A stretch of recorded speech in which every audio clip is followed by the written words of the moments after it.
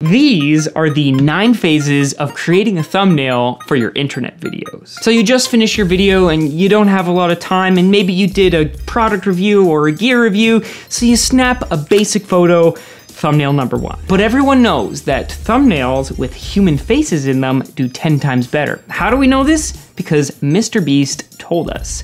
Thumbnail number two. But hold on, we're a complex person with complex emotions. Maybe this product had mixed reviews. Maybe there were some bad things to say about it. Maybe you were a little bit disgusted with this product.